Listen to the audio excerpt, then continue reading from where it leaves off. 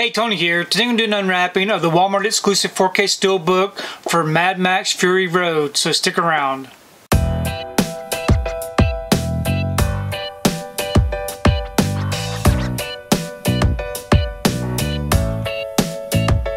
So today I wanted to take time to do an unwrapping of the Mad Max Fury Road 4K limited edition Walmart exclusive steelbook. Here's the front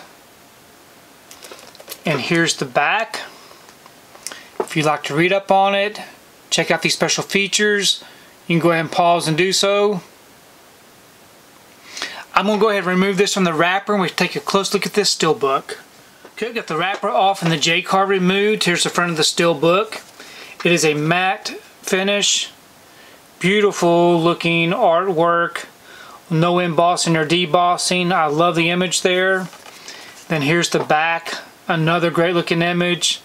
I love it when they fill up the back of the artwork, full image there. We open it up. We have our front and back together. On the inside, this one does come with a digital code. And we have our two discs. We have our 4K disc here with no disc art.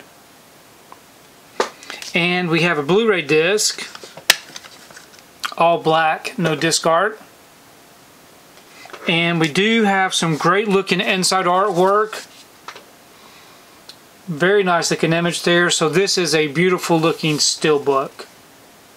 So I'm very happy that I was able to add this one to the collection.